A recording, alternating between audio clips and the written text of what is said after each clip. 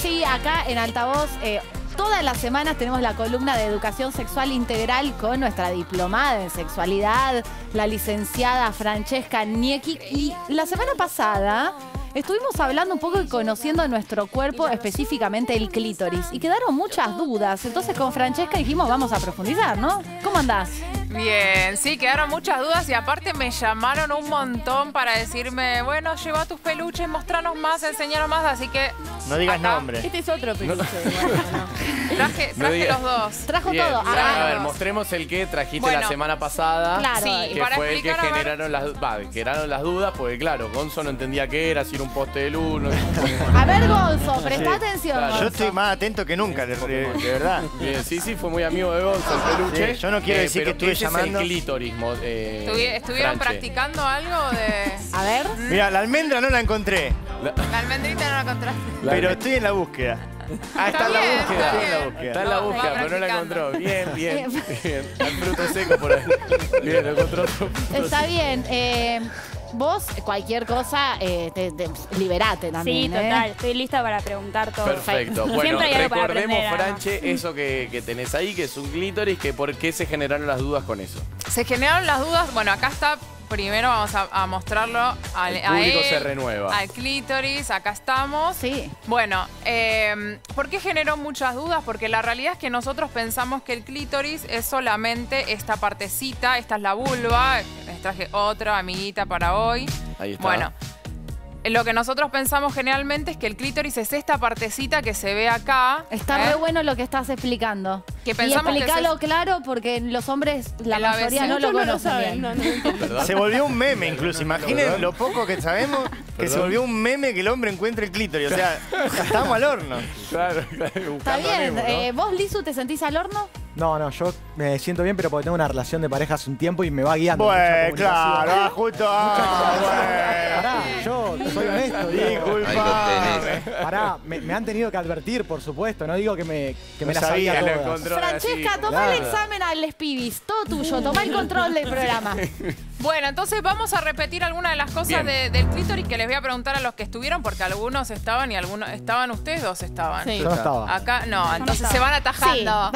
Pero bueno, ya Pero por ahí estoy, algo- para, estoy para atajar penales. vos ya ¿eh? sabés porque ya te explicó tu novia. Pero No, y- lo hablé y con lo La que verdad no no se sabía. sabe ¿eh? sin no vergüenza. integral Sin igual no vergüenza. aprendimos, pero bueno. Claro, Claro. Eso es verdad. Eso es Como verdad. en el colegio Igual- no nos lo enseñaron, está acá nuestra diplomada en sexualidad para darnos educación sexual integral, así que si se equivocan o no saben, mejor, porque así aprendemos, ¿no, Francesca? Porque es así y está buenísimo lo que decía. ¿Cómo es tu nombre? Lisandro. Lisandro, está buenísimo lo que dice Lisandro, porque el tema de que las parejas, uno sabe qué es lo que le gusta generalmente, dónde están sus partes de más, mayor placer y demás, entonces poder explicarle a la otra persona sin dejar por sentado. Viste que a veces, bueno, ya debería saber, ¿no? No saben. O por ahí no saben, entonces explicarle. Y habíamos dicho, ¿se acuerdan más o menos cuánto medía? 10 centímetros. Diez centímetros. Ah, Bien, Gonzo, tiene querido.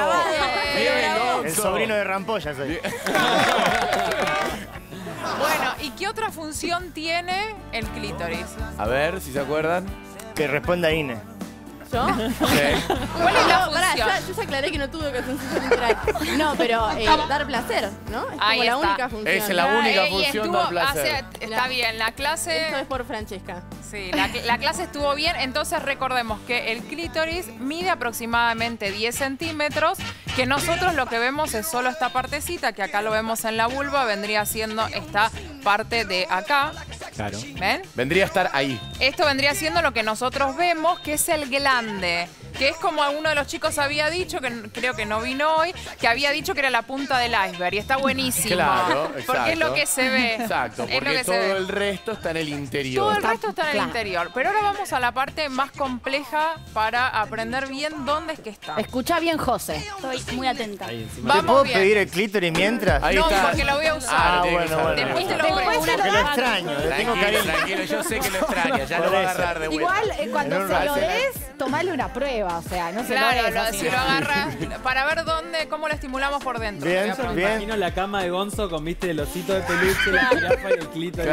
Un afiche con todos los gráficos. Claro, Sí, sí. claro, claro. Está bien, ¿eh? Lo deberían tener todos. Esa, es, eh, eh, esa clase también es interesante para ver cómo es la estimulación por la parte de adentro. Porque, repetimos, es solamente la parte de afuera lo que nosotros vemos, la punta del iceberg y donde damos placer. Pero cómo estimulamos por adentro. Totalmente. Bien. Entonces, primero ver dónde está ubicado. Acá tenemos la vulva, acá tenemos el clítoris. Recordemos que la vulva es todo lo que está por fuera Sí. y lo que está acá, esta partecita de acá que ven esta apertura, esta es el canal vaginal, es la vagina. Muchas veces decimos vagina a lo que es la vulva, que es la- lo externo. Entonces, piensen, miren si los pongo así. Si yo se lo pongo así. Sí. Toda esta parte, esta es la partecita que vimos que va por fuera. ¿Ven? Ahí, con el capuchón. ¿Tiene capuchón? Tiene capuchón, esta partecita que ven acá es el capuchón. Este es el glande. Bien. Y esto va por dentro así, como se los estoy mostrando. Pero no lo vemos porque Claro. está por dentro de la vulva. Claro. Y pensemos en esto. Piensen que acá está el canal vaginal. ¿Ven que se ve ahí? Sí. se ve el canal vaginal. Bueno, Sí. en este canal vaginal yo les traje como un objeto para utilizar de canal vaginal, que viene siendo este. Hagamos que esto es el canal vaginal. El clítoris está cabalgando, ¿no? Cabalgando el canal vaginal, ¿no? Entonces es como una cosa así. Esto así y esto vendría estando acá y esto está cabalgando. Por eso, cuando nosotros entramos por el canal vaginal, Bien. Para estimularlo manualmente o con juguete o con lo que fuera, estamos estimulando por dentro el O clítoris. sea que ahí viene el mito Y del ahí- orgasmo vaginal versus el orgasmo Claro, clitoriano. y ahí ya está. parte de... Eso, la alumna Inés ya- lo ha aprendido, la alumna Claro. Catalina también. Pero De Franche, ¿qué Es pasa? uno solo. Que es uno solo, porque siempre está el clítoris. Lo, lo acaricies por fuera o lo acaricies por dentro, está el clítoris Es todo. involucrado. ¿Tiene una duda, señor Gonzo? Sí, Franche, ¿qué pasa si de repente, eh, digo, eh, se usan los dos extremos en simultáneo? ¿No? Digo, la parte que cabalga y la parte externa. Está buenísimo. Es uno de los. O de sea, los- estimula distinto. es uno de los trucos, está buenísimo, porque muchas veces yo Ah, le voy a contar. en un reel esta semana en Instagram. Sí, la eh, estimulación. Sí, sí, lo vi, lo vi. Sí, es que es, es que es un tema también, que muchas veces nosotros pensamos que las personas que tenemos vulva nos es difícil llegar al orgasmo por penetración. Entonces, y esto hay un dato, el 80% de las personas con vulva no llegamos al orgasmo por ¿Y penetración. por qué sucede eso? Y eso sucede porque cuando nosotros hacemos solo No penetración. Imaginen una penetración directamente sin estimular la parte del glande del clítoris, que es la parte que más placer nos da, entonces solo estimulando por dentro muchas veces se nos dificulta. Es muy importante esto que está diciendo. Sí. Yo pongo un punto acá porque yo creo que la mayoría no lo sabe esto. A ver, quiero pasar por el Zoom. Guido, ¿vos sabías todo esto que está explicando Francesca? He tenido que aprenderlo a lo largo de los años. Bien. Pero sí, sí, por suerte. Lo sabe. Bien, a ver. Pero, pero sí, eh, digamos que no, no nos educan en eso y es importante. ¿Y cómo aprendiste vos? ¿Dónde, digamos, con en la, la cancha, digamos? Me gusta, buen espacio. En el, en el Gol, camp- en el ¿sabés campo de acción. mujer He aprendido, he aprendido en algunas páginas de internet feministas Sí. y en la cancha, por supuesto. Bien. Ahí. A ver, ¿quién más? Berenice, el todo, es Rosario. práctica. ¿Qué está vendiendo celulares? ¿Berenice dónde está? ¿Qué está haciendo Berenice? Hola chicos, Hola, no, Bere. estoy en el local donde trabajo. Ah, mirá. Y, básicamente sí, estoy con puntitas de celular. Pará, no te queremos poner en una situación incómoda, Claro, claro. pero si querés responder como con, pre- eh, con palabras que no se note de lo que estás hablando, pero vos sabías esto que está Eufemismo, explicando. Francesca sobre la cabalgata. todo Es como la primera vez que estoy escuchando esto porque no tengo, digamos, conocimiento desde la secundaria, así que me viene bien. Mirá, ¿cuántos años tenés, Berenice? 22. 22 y la primera vez que está escuchando esto. Menos mal que estás Clara, acá, Francesca, la totalmente. televisión pública haciendo tengo- educación Sí, sexual sí. integral. ¿eh? También pienso duda, igual, Perdón, yo eh, tengo una duda existencial, realmente. Porque mostraste toda la vulva, lo que no sé es dónde está el agujero de orina. La Claro, uretra. eso es la uretra. y es como que está como más arriba, que muchas veces se confunde el canal vaginal, que a veces decimos que se confunde, ¿no? Y hay gente, no es muy común, pero hay personas que sí piensan, bueno, ¿dónde nos vamos a poner la copita y demás? Entonces, bueno, como que muchas veces está esa confusión y tenemos, nosotros tenemos el canal vaginal y la uretra. O sea, Son dos canal vaginal, uretra y clítoris. Y después viene el clítoris como más arriba. ¿Qué papel puede jugar, por ejemplo, el tema de los juguetes sexuales atacando esa zona para estimularla? ¿Es fundamental? ¿Es interesante? ¿O hay que usarlos, pero muy cada Tenés tanto? dos manos ¿Cómo es el asunto? también. Yo tengo una boutique. Ahí está, ¿eh? se pueden usar en Por eso digo, simultáneo. Bien. ¿cuánto de mano y cuánto de juguete sexual, por ejemplo? Mira, a mí los juguetes sexuales me encantan tanto así que tengo una boutique erótica, así que te voy a decir que, que sí, me encantan los juguetes. Yo lo que creo, como dice eh, tu compañera, sí que podemos utilizar las manos, podemos utilizar las manos tuyas, o sea, penetración y también las manos, las manos de tu compañera, que muchas veces me dice, Total. no, yo no me quiero estimular porque va a pensar que no me gusta lo que está haciendo, entonces si yo me toco a mí misma, me voy a sentir mal, voy a hacer sentir mal a la otra persona. No, porque ya aprendimos que muchas veces solo con penetración no llegamos, entonces estimularse de forma manual, tanto vos- 80% nos el llegamos. 80%. Eh, Pienso- José, sí, no, lo importante que igual es empezar a naturalizar la comunicación por fuera de la pareja estable, ¿no es cierto? Digo, a veces uno mantiene relaciones de manera más casual y es súper importante que esté naturalizado poder Sí. en el mismo momento del Claro. acto sexual preguntar, ¿no? Bien. Comentar qué es lo que a cada ¿Y uno le porque gusta. cómo es, digamos? Ah, Te lo pregunto, porque en mi Sí, generación claro. obviamente esto ni se hablaba, olvídate, o sea, ya está, No estamos en, existía. en otro, no existía. Eh, ¿Cómo es ahora ser joven? ¿Estás teniendo una vida sexual activa con uno, con otra, Sí. con une? Eh, Yo ¿Cómo en lo se particular eh, siento que está bueno charlar estas cosas previo al encuentro. O sea, es igual es mi, mi justamente es tan particular Una que creo que cada uno, claro, cada uno es un mundo. También depende eh, qué tipo de personas te gusten. O sea, a mí me parece importante charlarlo antes y también durante. Hay mucha gente que estima la charla en el pleno acto y bueno, también está bueno ir diciendo, che, por acá sí, por acá no. Mirá, si vas a estar incómoda, incómode y te vas a estar privando por cuidar el... Claro. Y, y desestigmatizar también un poco algo que hablaba la otra vez Francesca, que es la gestión del orgasmo, ¿no? Como Total. que tiene que haber una propia gestión del orgasmo personal en la que uno también se ayuda como Te a llegar a al placer. mismo. Te ayuda a vos mismo, pero en el ayudarte a vos mismo también es educar al otro, como cuentan los chicos que, que son heterosexuales acá o que se vinculan con mujeres, que cuentan esto, ¿no? Que hay una comunicación y una educación y también la gestión propia del placer. Sí, no Vamos sentir vergüenza. No Yo conozco sentir muchas mujeres que les da vergüenza decir lo que les gusta Claro. porque parece que Mira, yo te voy a decir una mucho. cosa. A mí me pasa. A mí me pasa el día de hoy que me da vergüenza decir lo que me gusta. claro. Estoy aprendiendo con Francesca igual que ustedes. Pero es por eso, vamos a tomar examen, a ver qué es lo que se ha aprendido hasta acá. Ha llegado el momento de que Gonzo agarre el clítoris y la vulva y que nos diga qué es lo que aprendió hasta acá, sobre Bueno, todo sí, lo vas a lo que la otra vez dijo te lo tiré. Francesca. Por favor, No, todo. pará, no, tíralo, pará, pará, por favor, eh. Todo, todo. todo. Este es el Le- segundo le- cabalgata que- también. Le falta un elemento. Ah, este también. Pero, Claro. pero por supuesto, tiene Claro, que contar la que cabalgata, por favor. Francesca. La Hasta clase de equitación. Francesca va a continuar con lo que Sí, tenga que sí, sí, decir, pero hasta el Francesca. momento tomamos examen. Eh, le damos el, el poder a ustedes. Sí, sí, ¿A sí, qué? sí. ¿A, a tomar examen? A o tomar o examen, pero después, Sí. después conté, Examen a Gonzo, después es su momento. diciendo lo que, lo que falta por decir. Bueno, Gonzo, ya la tiene al revés. Vamos, vamos empezar. Iba a decir exactamente lo mismo. Señorita maestra la tiene No, porque la persona está dada vuelta. Es una pose, no me. Ah, no, bueno, no. Es una pose Es una pose. Si querés le pido, che, ¿podés para la tele? Sí, me dice. Bien. Bueno, habíamos aprendido algo. Gonza, sobre el punto G. ¿Qué habíamos aprendido? Y te lo digo así con una trampita. Sí. Obvio. ¿Qué habíamos aprendido? Se preguntarán ustedes en su casa. Lo importante, antes de responder la pregunta, es reconocer un poco la vulnerabilidad masculina al comparar esto cuando uno lo pone en la mano, ¿no? Francha, hay que decirlo. Digo, de repente uno Empieza a comparar. ya tiene un tema para terapia, ¿no? De repente. Eso en primera instancia. En segunda instancia, ¿qué pasa con el punto G? Eh, creo que, eh, uh, bueno, profe, mire, ¿todo esto es el punto G? Acaba. ¿Eh? No, ese es el clítoris. Claro, y, y- ¿Eh? ¿O no? Que sí. No, no, febrero, febrero. Está acá atrás, Gonzo. Perdón, yo de esto no sé tanto, pero creo que está ahí atrás. No lo no lo ayudes. Pásenle un GPS, por favor, a Gonzo. No, no, no, está Gonzo con. Es un momento de Gonzo con Francesca. Porque Franche, Sí, el tranma, Yo eh, sé ponerle el no capuchón. Yo sé ponerle el capuchón al cosito. Si llueve, digo, tapate. ¿Con qué- aparte, ¿Eh? ¿con qué objetivo le voy a poner?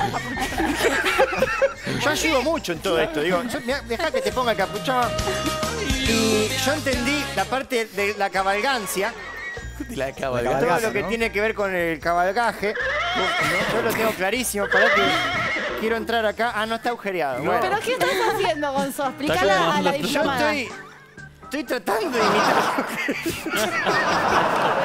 no sé responder tu pregunta, Franche. Te Bueno, pido habíamos dicho que el punto, vamos a empezar, que el Reprobado, punto G, Franche. claro. Sí, pero explícale, explica para que la gente que está del otro lado aprenda sobre lo que no aprendió Gonzo. Habíamos dicho que el un punto sombrero, G no es un punto porque si uno busca no hay nada que vaya a encontrar, como la otra vez si hablábamos de la almendrita, que sí hay un, un punto de donde uno encuentra algo, P. sino que es una zona donde hay personas que sienten que tienen vulva, que sienten mayor placer, en esa zona que es dos o tres centímetros entrando por el canal vaginal, yendo para arriba, como por ejemplo así, ¿dónde lo puedo poner? Acá. Como por ejemplo así, ¿ven? Entonces entran, a ver, Gonzo, entra. Acá, mirá. Ahí va. Le mando para aquí. ¿Ven? Y entra y un Uy, pero- poquitito y ya Así. encuentra. Bueno, no le embocó ni eso. Pero no, porque no está agujereado. No Y está agujereado. Tenés esa, esa, Es- es deshabilitada la ubicación eh. en tiempo real. El y ahí tenemos la zona G, que como decía la compañera, es el clítoris por dentro. Entonces, por eso es que se siente mayor placer. Algunas personas lo sienten y otras personas no. Ver, Así que bueno, reprobado. Reprobado, por eso con distanciamiento, Gonzo, pásele el juego a cualquiera de sus compañeros para que eh, también nos diga qué es lo que ha aprendido. Inés, Inés te tocó. No, a mí me parece más interesante que. Ah, no, bueno, puede ser autoexploración. No, ¿sabes qué? Le vamos a pasar la mitad. que sabía. No, no. Va Josefina una Es la parte y bienvenida de la José. otra. ¿Qué parte? Bueno, yo me quedé con el falo. A ver, estamos Está en dividido clase. esto, ¿eh? Escúcheme un Está segundo. Nos ponemos serios dos segundos. En la escuela, a pesar de que es ley en la mayoría del país, porque lo escuchás acá de los pibes, las pibas del país, no tienen educación sexual integral. No lo aprendieron en ningún lado, como yo, como Francesca, como Juani. Pero por suerte tenemos a Francesca, que todas las semanas viene acá y nos enseña a conocer nuestro cuerpo, entre otras cosas. Nos da educación sexual integral y estamos acá en altavoz en vivo, ahora con la vulva. A Sí, ver, ¿qué además- tenés vos? Yo, yo tengo el clítoris, que es esta cosa enorme de 10 centímetros que me hizo Francesca. Bien. Que hace. Yo no, o sea, esto no lo vi hasta que llegué al piso. Y la conocí a Francesca y trajo este peluche. ¿Cuántas terminaciones eh, nerviosas tiene? Muchísimas. Tiene más, eh, aproximadamente 8.000 terminaciones nerviosas, Eso no que es sabía. muchísimo más que las terminaciones nerviosas que tiene el pene. Y la otra vez también aprendimos que así como las personas con pene tienen erecciones, las personas con vulva también tenemos erecciones porque el clítoris también se erecta. Mm. Es decir, se llena de sangre. Y yo lo que les recomiendo como para hacer en sus casas, el otro día hablábamos un poquito más de recomendaciones para, para las personas con pene, pero a las personas con vulva les recomiendo tomar un espejito, utilizar lubricante y hacer como si fuera en vez de autoplacer, de masturbación autoplacer, masturbación de autodescubrimiento, que es poner un espejito e ir viendo cómo se va llenando de sangre, cómo se va erectando el clítoris, porque lo van a ir viendo a la parte de afuera. Eh, y además también es, me parece muy importante conocer los tiempos de la lubricación, que eso es muy importante. ¿Por qué? Es un porque, tema eso. Claro, porque yo siempre ¿Es un digo... tema? ¿Por, por qué sí, lo decís, porque, porque a veces es mucho, por ahí puede incomodar a la mujer o a la pareja, eh, a veces es poco y no alcanza, entonces por eso te pregunto cuál es eh, la cantidad exacta, no sé. Sí, eso...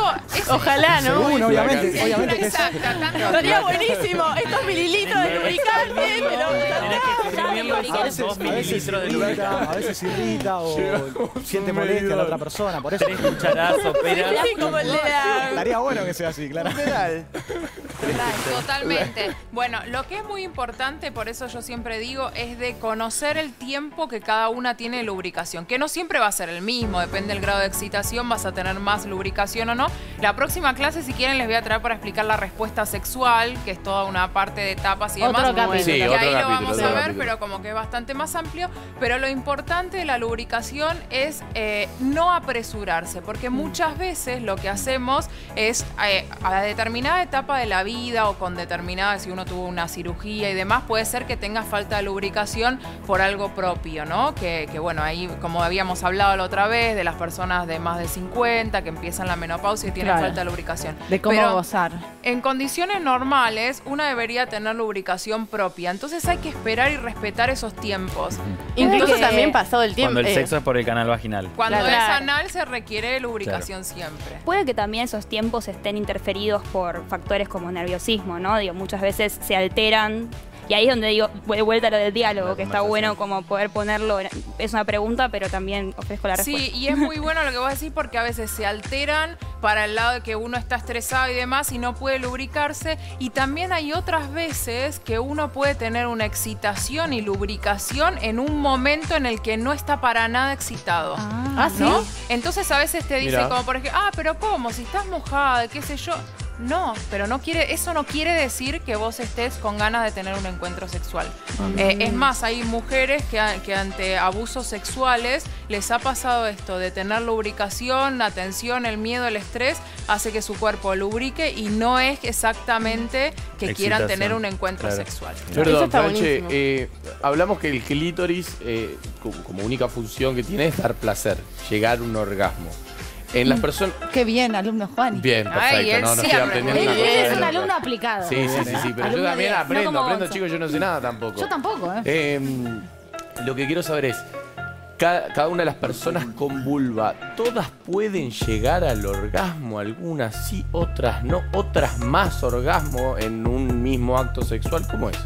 Mira, está buenísimo lo que decís. Por un lado, yo siempre digo que no tengamos esa presión que la tenemos Sí, siempre. siempre. Que es la presión de que tengo que llegar. O sea, Sí. está buenísimo llegar. Pero Y también. que el hombre también tiene que hacer llegar Bueno, a la sí, mujer. eso También esa es otra lo presión. Pero lo de la Sí. presión de no siempre llegar está buenísimo. Pero a veces que no llegás y Porque no a veces, llegás. claro, ya Igual la pasaste no bárbaro. Sí, y esta cosa de que si no llegaste no la pasaste bien, como decía Claro. José, y a veces la pasaste bien igual. ¿Y por qué tiene que ser? Y la gente que te pregunta, que te pregunta, hay una especie de medio de llegaste o no llegaste. Y también eso a veces te hace incluso no llegar, que te estén preguntando todo el tiempo. Totalmente. Totalmente. No, no- Bueno, no pero es algo que se puede conversar antes. Total, como bueno, yo soy Bueno, una chicos, persona que Eh, que obviamente que este tema- sí, al final. hay preguntas todo el multiorgasmo, tiempo. ¿se puede decir? ¿Multiorgasmo está bien dicho? Sí, también está, Está la multiorgasma. Que, que un día lo de la multiorgasmia, que un día lo, lo vamos a, a traer y hablar. Y, y bueno, pero por ahora tienen el domingo para festejar San Valentín y investigar un poquitito todas estas cosas. Me gusta ¿no? eso, Bueno, ¿eh? A ver si más. la semana que viene esto que retu- si lo retuvimos, ¿no? De nuevo el test a Gonzo, Les voy a, traer, voy a traer un les voy a sacar preguntas, bolilla y les voy a ir preguntando. Me encanta. Me gusta. Bueno, la semana que viene la esperamos de nuevo a Francesca en esta sección que tenemos de ESI. ¿Nosotros nos damos un corte? Nos vamos a un corte, señores y señores. Si llegaste al final, viste la vulva, te metes en nuestras redes sociales y ves todo lo que pasó con Francesca. Nosotros vamos a una pausa y Se viene Patricia Palmer acá en el estudio, en exclusiva, con los pibes de todo el país.